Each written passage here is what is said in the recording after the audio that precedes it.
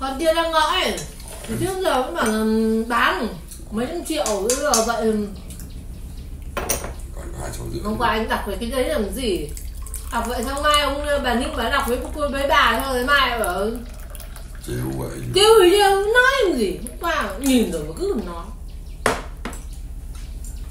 Em không bao giờ em nói thật với anh. Sau này bà mất đi cái đấy đương nhiên là phải không đứa nào no được lấy cái tiền no cả. Sau này hậu sự cho bà. Tự nhiên nó ninh tang thì trượt chân thì đỡ được nhưng mà như có hạ còn là hai xào. Thì con hai xào bà con hai xào ngập con hai xào thôi. Một mẫu một thì giả ông thành năm xào thì bà mới ngập mỗi người còn hai xào đâu đâu lắm một mẫu còn đến chín xào.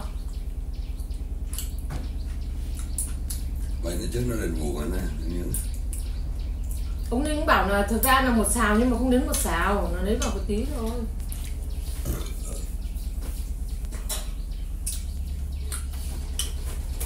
Mình ờ, anh đi trước mình anh nói anh trước mình ờ, à mình bán giống mình nhỉ? Bán đâu? Cho ông ninh đâu? Bán rồi bán chứ đợt nào thì ờ, là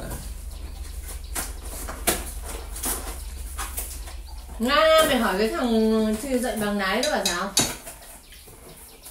Nó là sao là bà sáo nó bảo vừa ông đấy nhỉ hồ sơ như vậy như nào? Nó bảo là chụp cái hồ sơ gốc rồi gửi cho nó. Nó có tao để trên chấp tủ à?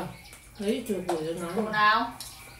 Ừ, chấp tủ ấy chứ nó tìm hơn bộ nào bộ sao cho anh gửi cho nó để biết rõ chính xác là nào, học mà. Là phải có phải chạy đủ km không? Có phải à, mô phỏng không?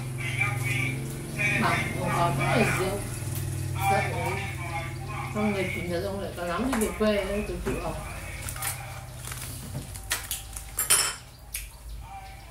Giờ muốn nó làm hết ngày đêm mà bây giờ nha thằng thành nó tăng cường về tỉnh hai tháng nó xuống nào, trên tuyến đường một đấy.